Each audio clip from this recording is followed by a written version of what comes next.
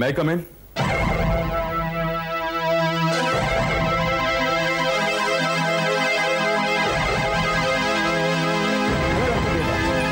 संजय तुम यहाँ? और वर्दी में? भाई दूर की रिश्तेदारी है। इनके जख्म खबर मिली। हाल कुछ चला है। तुम्हें इलाज किया इनका? हाँ क्यों? जख्म कितना कह रहा है इन्होंने तुम्हें बताया नहीं? ओ यस अब यह तो बताया था। एनीवे आई एम सॉरी चलता हूँ mister Naresh by all means bye thank you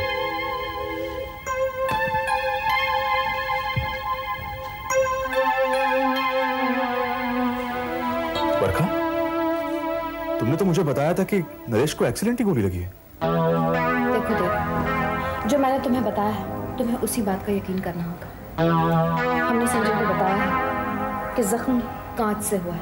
अगर कभी वो तुमसे पूछे तो तुम्हें भी यही कहना होगा। तुम अच्छी तरह जानती हो बरखा झूठ से मुझे कितनी नफरत है। अगर तुम सारी बात मुझे सच सच बता देती तो भी मैं तुम्हारी बात टालता तो नहीं। माय गॉड इतना प्यार करते हो इसे? नरेश तुम हद से ज़्यादा बढ़ते जा रहे हो। नरेश प्यार पाप नहीं तो मैंने कब कहा कि पाप है। लेकिन किसी दूसरे की बीवी के साथ उसका हद से गुजर जाना डिस्टर्ब तो करता ही है। After all I am also human doctor Devraj और अपनी बीवी के ताल्लुकात के बारे में सवाल पूछने का पूरा हक रखता हूँ। इतना तो ज़ाहिर हो ही चुका है कि आप इससे मोहब्बत करते हैं। लेकिन ये आपसे कितनी मोहब्बत करती है मैं ये जानना चाहता हूँ मिस्टर मल्होत्रा अगर ये मुझसे मोहब्बत करती तो आप जैसे इंसान के साथ शादी नहीं करती। सवाल काश पाँच नहीं होती मिस्टर मल्होत्रा और आपकी बात अच्छी तरह जानती कि मैं सच बोल रहा हूँ the bloody fact. You may go. मैं आज भी यहाँ अपनी मर्ज़ी से नहीं आया था मल्होत्रा आपकी की बीवी ने मुझे यहाँ बुलाया था तो मैं यहाँ आया था.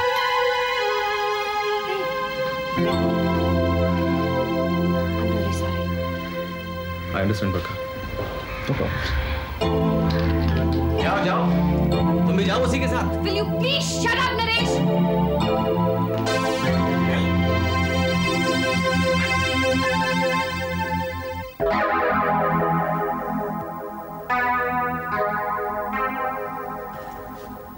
नरेश के जख्म की असलियत जानना चाहता हूँ। संजय उन लोगों ने तुम्हें असलियत तो बताई दी होगी। उन्होंने जो मुझे बताया क्या वही सच है? हाँ। देवराज जुर्म मुजरिम को छुपाना भी जुर्म है। मैं जानता हूँ संजय। एक्सक्यूज मी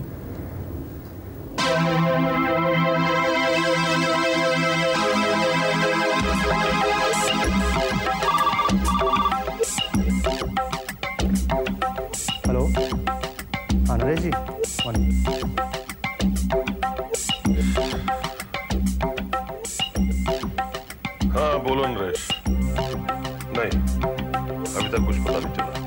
हाँ साहब, अभी अभी एसीपी संजय सक्सेना यहाँ आया था।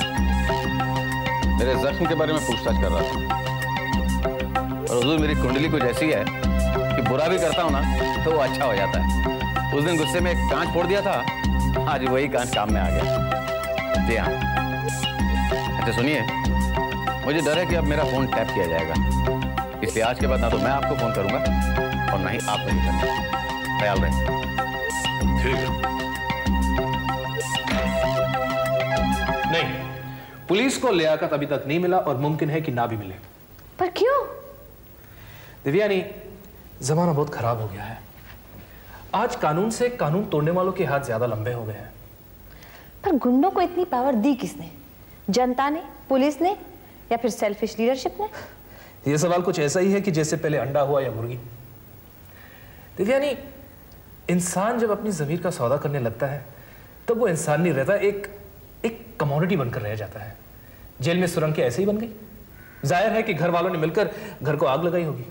उस गुंडे ने तुम्हें भी तो धमकी दी है ना? हाँ मैं भूला नहीं हूँ। और मैं ये भी जानता हूँ कि वो लोग जो कहते हैं वो कर दिखाते हैं। काम किया है तुमने।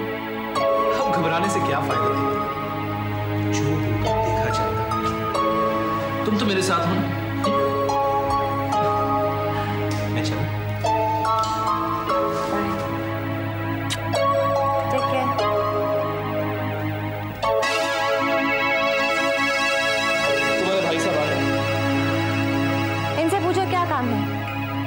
खुद ही पूछ लो। तो अच्छे हथियारों पर उतराई हो देवयानी। मेरे जख्म की खबर पुलिस में करके मुझे फंसाना चाहती थी। खुद में जब दम नहीं रहा तो दूसरे के कंधे पे बंदूक रख के गोली चलाना शुरू कर दी। आईने के सामने खड़े होकर अपनी प्रशंसा क्यों कर रहे हो? झूठ, फरेब, मक्कारी, जालसाजी, मल्होत्रा खानदान में तुम्ही से शुरू हुई है और तुम्ही पे खत्म होगी। पीठ पीछे छुरा घोंपना तुम्हारी कला है, मेरी नहीं। मैं जब भी वार करूँगी, सामने से करूँगी, याद रखना। यानी तुमने संजय को नहीं बताया। मुझे अपना जवाब दोहराने की आदत नहीं है। फिर पुलिस में किसने खबर की? ये कोई इंफॉर्मेशन ऑफ़िस नहीं है। अगर यही पूछने आए हो तो पूछ चुके हो अब जा सकते हो। वाह वही गुस्सा वही अकड़ वही गुरूर। रस्सी जल गई मगर ऐठन अभी तक वही है।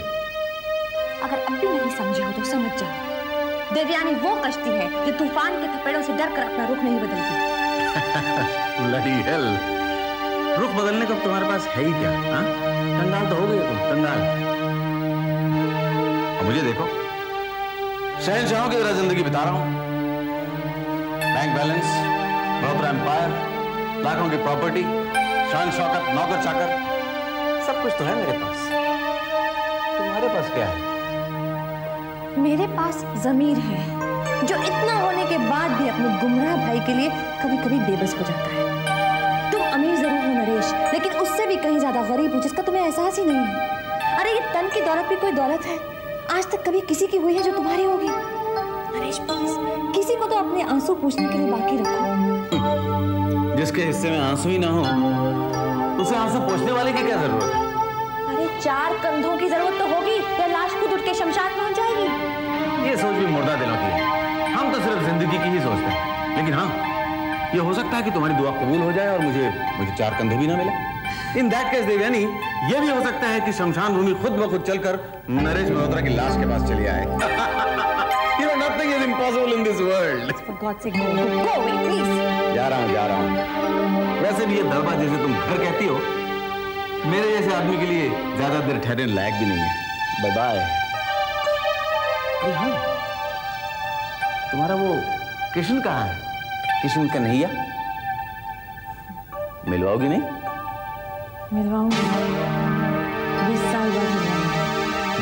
साल बाद ड्रीम व्हाट ड्रीम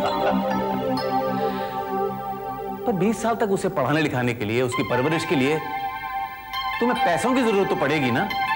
कहो तो हर महीने कुछ।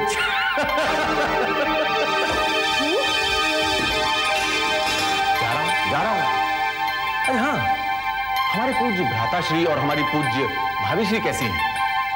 उन्हें भी तो हर महीना कुछ ना कुछ पैसा लगता ही होगा। कहो तो कोई फाइनेंशियल हेल्प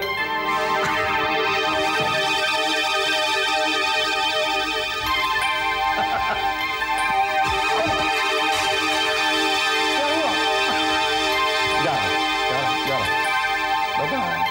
बाय बाय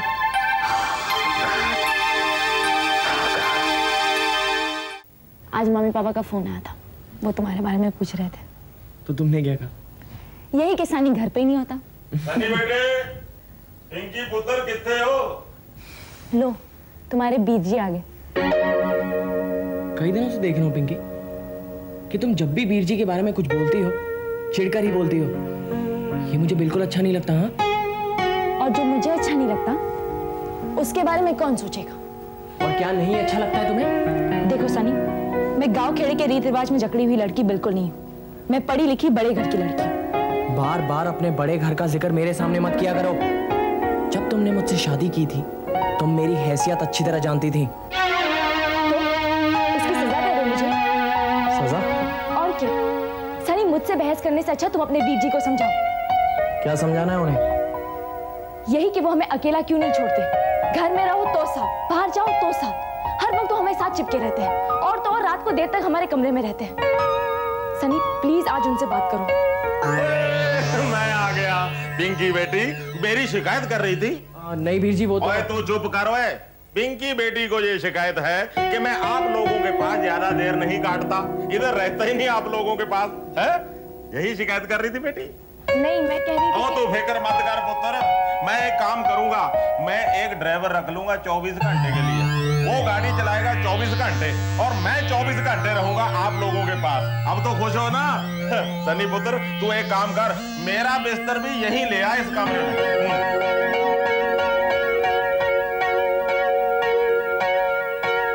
ओए पिंकी बेटी की होया? सर दर्द कर रहा तेरा? ला सर दबा दो। जी नहीं जी नहीं बीर जी हाँ। मैंने चाय नहीं पी थी बस इसलिए दर्द हो रहा है।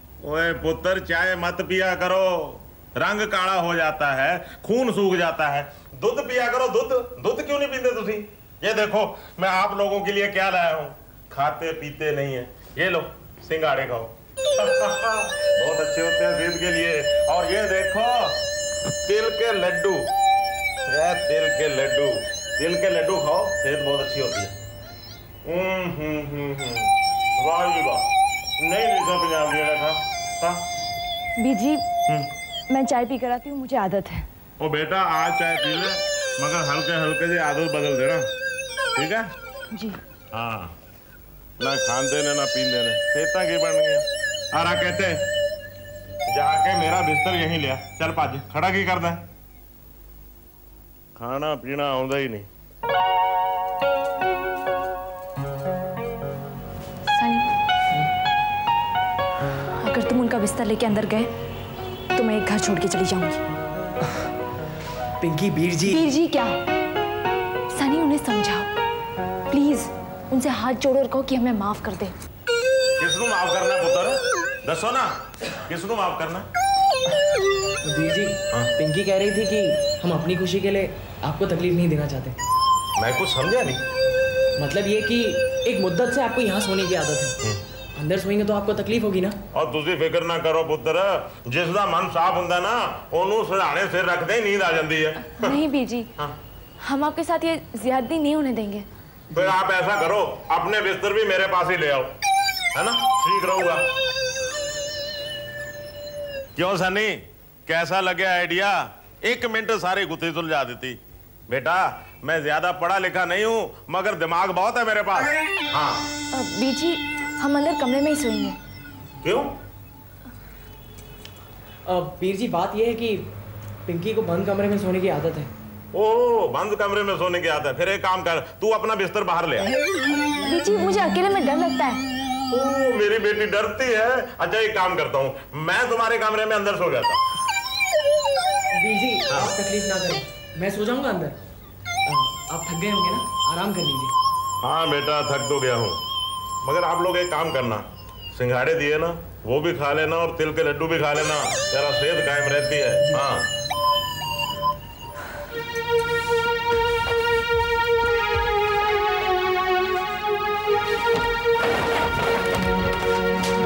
ये क्या किया तुमने?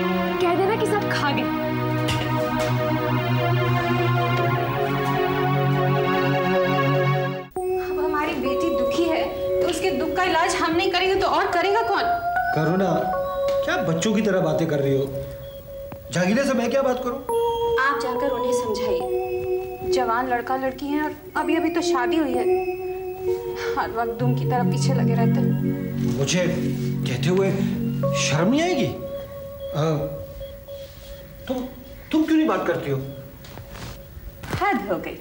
हद हो गई अशोक मल्होत्रा साहब। मैं मैं औरत जात होते हुए उनसे वो बात कहूँ जो आप मर्द होते हुए भी कहने में शर्मा रहे हैं। वाह जवाब नहीं है आपका। तुम तुम ठीक कहती हो करुणा। तुम ठीक कहती हो। ये बात ना तो मैं कर सकता हूँ ना तुम। तो क्या हमारी बेटी यूँ ही घुट घुट कर जिएगी? नहीं नहीं नहीं। मैंने मैंने ऐसा तो नहीं कहा। तो फिर? तुम पिंकी से कहो वो सनी से कहे कि अपने भाई से बात करे बस। सनी आज इस मसले का हल निकालना होगा। अगर तुम बात नहीं कर सकते तो मैं करती हूँ। तुम? देखो Sunny we not kids we are married so let's live a married life Sunny I can't explain my problems to him वो पुराने ख्याल के आदमी है सनी अगर मैं समझाऊँगी तो तो उन्हें अच्छा नहीं लगेगा। बिल्कुल अच्छा नहीं लगेगा।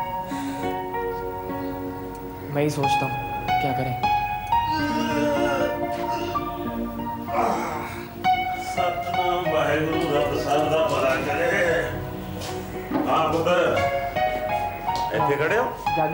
हाँ। दिन की नींद में एक जादू तो है कि आदमी फूल जैसा हल्का हो जाता है। देख मेरे बल। वीर जी हम्म। हम दोनों ने सोच समझ कर एक फैसला किया क्या? आप ड्राइवर नहीं रखेंगे। क्यों जी जितनी मेहनत और ईमानदारी से आप काम करते हैं वो ड्राइवर करेगा। जी और ईमानदार ड्राइवर मिलते भी कहा हैं? तू ठीक कहता है ईमानदार ड्राइवर मिलते ही कहा है? मगर एक बात बताओ दोनों कि आप दोनों की खुशी के लिए मैं इतनी भी कुर्बानी नहीं कर सकता क्या? है? लेकिन बीजी हम भी तो इतने खुदगर्ज नहीं है ना। बिल्कुल ठीक बीजी आप हर रोज की तरह सुबह सुबह जाइए और आराम से काम खत्म करके रात को आइए। मगर पुत्र आप दोनों का क्या होगा? हमारा जो होगा होगा। आ, आप हमारी फ़िक्र नहीं करिए। ठीक है जैसा आप लोग ठीक समझे। एक ने कही दूसरे ने मानी। कहो नानक प्रभ दोनों ज्ञानी। हो जाए इस बात में सिंगाड़े सिंगाड़े ले क्यों? क्या हुआ? वो हम खा गए। एक ही झटके में? हाँ सब खा गए। ए होई ना गल। ए सुन के नीतू मासी बहुत खुश होएगी। हाँ हाँ। तुम्हारी शादी फटाफट कर दी ना। ना नीतू मासी आई ना रजनी आई। आन गए और बार बार पूछ रहे थे कि घर में रौनक कब आने वाली है? रौनक कौन? और तेनू माँ कहने वाला पुत्र? बीजी पहले इसे अपने पैरों पर तो खड़े होने दीजिए। देखो बेटा सनी मेरे मुँह पे खड़ा बुरा लगता है क्या? नहीं बीजी लेकिन इसे अपना करियर तो बनाना चाहिए। देखो बेटा मैंने एक फैसला किया बैंक से लोन लेके एक ट्रक और डाल देंगे। इसका करियर बन गया। बीजी आपने इसे ट्रक ड्राइवर बनाने के लिए ग्रेजुएट बनाया। ट्रक चलाने में क्या बेइज्जती होती है? नहीं बीजी आई मीन आप पढ़े लिखे नहीं इसलिए मैं ये ठीक है पुत्र बेटी मैं पढ़ा लिखा नहीं हूँ मगर किसी का गुलाम भी नहीं हूँ। अपना माने खुद हूँ हलाल की कमाई करता हूँ वही खाता हूँ और सुख की नींद सोता हूँ। ये भी मेरा पुत्र है। ये भी अपना माने खुद बनेगा हलाल की कमाई खाएगा और सुख की नींद सोएगा। Sorry busy. लेकिन मेरा पति ट्रक ड्राइवर नहीं बनेगा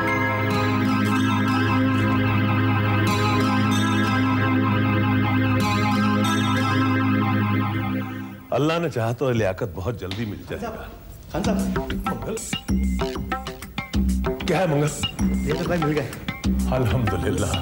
कहाँ है मेरा बेटा? चलिए मेरे साथ। एक मिनट। नजमा हमारा बेटा मिल गया। अल्लाह अल्लाह का लाख लाख शुक्र है कहाँ मैं अभी मिल के आता हूँ। मैं भी चलूँगी। मुझे भी ले चलिए ना। नहीं अगर हम दोनों बाहर जाएँगे तो पुलिस हमारा पीछा करेगी। मुझे बच के निकलना होगा। मैं उससे मिला हूँ फिर तुमसे भी मिलवा दूँगा। अच्छा अच्छा। आप भी हो आइए। बहुत बहुत दुआएँ देना मेरी। बहुत बहुत प्यार देना। कह देना उसकी माँ की दुआएँ उसके साथ में है। फ़िक्र न करें। हाँ, चल। अगर इस वक्त मैं बाहर गया तो पुलिस मेरा पीछा करेगी। लियाकत है कहाँ? तो कर मैं पुलिस को दे दूँगा तुम टू फोर सेवन नाइन में निकल जाना उसके बाद जैसे पुलिस तेरा पीछा करेगी मैं दूसरी तरह से निकल जाऊँगा ठीक है।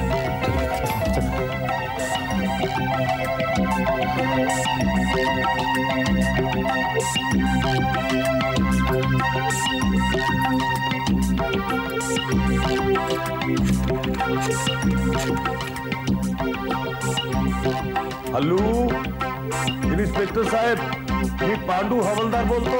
हाँ पांडू बोलो। तो साहब वो माजिद खान पठान को उसका छोकरा का पता लग गया। क्या? हाँ वो सफ़ेद गाड़ी टू फोर सेवन नाइन में उसको मिलने को जाता। शाबाश पांडू। तुम उस पर नज़र रखो मैं वहाँ फ़ौरन पहुँचता हूँ।